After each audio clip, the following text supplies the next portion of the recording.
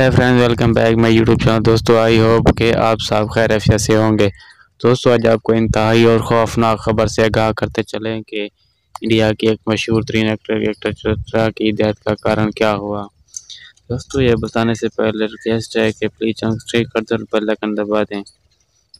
दोस्तों बताया जा रहा है कार पर सफ़र कई जा रहा है, जिसकी वजह से इनका रास्ते में एक्सीडेंट हुआ इसको फौरी तौर पर बैठ कैंडी अस्पताल मुंबई में एडमिट किया गया। कुछ देर इलाज चलता रहा। सर पर काफ़ी चोट आने की वजह से अभी भी पता चला है कि इनकी डेथ हो गई। कमेंट में मिलते हैं नेक्स्ट वीडियो में। Thanks again again